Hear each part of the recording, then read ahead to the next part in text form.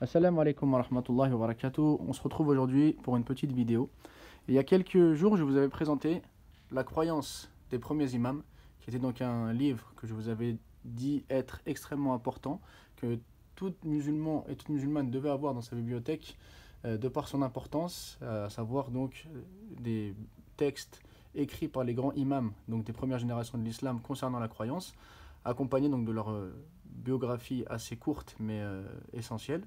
Et dans la même série, le livre que je vais vous présenter, c'est l'explication des fondements de la sunna de l'imam Ahmed. Donc ce livre-là, il a une extrême importance pour plusieurs raisons. Déjà parce qu'il est écrit par un des grands imams de l'islam, sur lequel toute la communauté s'est accordée quant à sa fiabilité et son mérite, donc ça va savoir l'imam Ahmed, qui est un donc des quatre imams euh, dont les écoles de jurisprudence euh, restent euh, aujourd'hui connues et reconnues. Et il a écrit donc un épître euh, assez court dans lequel il reprend toute la profession de foi euh, du musulman. C'est-à-dire que euh, à travers son, son, épître, on, est, on, peut donc connaître les fondements auxquels tout musulman et toute musulmane doit croire et doit revenir pour avoir une compréhension saine de la religion telle qu'elle a été révélée par Allah Azzawajal sur le prophète salam et telle que les compagnons se sont réunis dessus et euh, on, considérait donc comme faisant partie des fondements de la religion, à savoir euh, la croyance en Allah, les détails concernant cette croyance, à savoir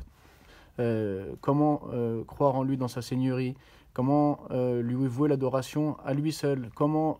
croire dans les noms et attributs, comment croire au sujet du paradis et de l'enfer, qu'est-ce que la foi, quelle est la place des actions dans celle-ci? Euh, quelle est la croyance correcte au sujet des compagnons que nous devons avoir, et ainsi de suite. Donc c'est une profession de foi euh, assez courte, mais extrêmement riche et complète, qui a été rédigée par un des grands imams donc de, l'islam et un imam donc des premières générations, ce qui donne euh, une importance, un mérite capital à son œuvre, qui est une œuvre fondatrice auquel donc tout musulman doit revenir et tenter de, de l'étudier pour avoir une connaissance profonde donc de la croyance. Et le plus donc de ce livre, que je vous mets en avant, donc qui est un, des rares épîtres euh, disponibles en français, écrit par un imam donc des premières générations, donc Usul Sunna, euh, expliqué donc par un grand savant qui est encore vivant actuellement, qui s'appelle donc le, c'est le Shir Abdelaziz Rajihi, qui a écrit donc de nombreux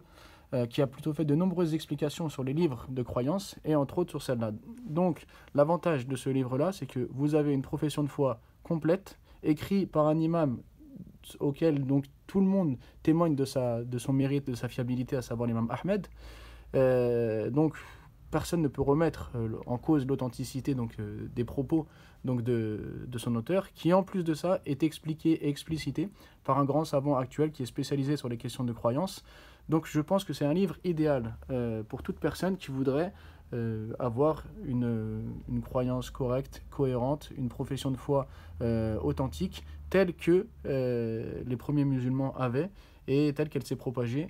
jusqu'à nos jours, donc à travers les livres des savants. Et puisqu'on est dans la série donc, des, des croyances, des grands, de la croyance des grands imams, j'en profite pour vous présenter également un autre livre qui est donc la croyance de l'imam Malik. ce livre-là est également très intéressant parce que c'est une explication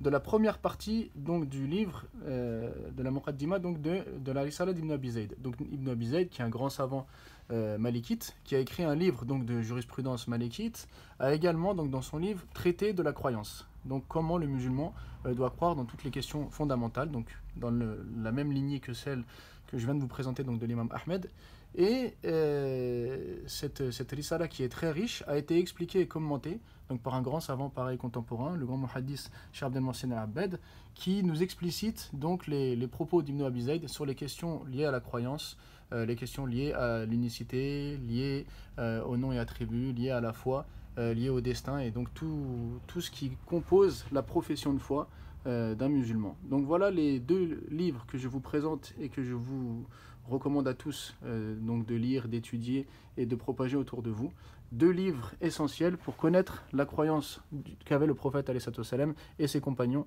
et deux livres qui se distinguent des autres, euh, et en particulier donc celui de l'imam Ahmed, puisqu'il est écrit par un grand imam euh, sur lequel tout le monde, la communauté entière s'est réunie pour attester de son mérite, qui a été écrit donc dès les premiers siècles de l'islam, donc avant de grandes divergences, euh, un livre, je pense, euh, essentiel pour bien comprendre sa religion. Assalamu alaikum wa rahmatullahi wa barakatuh.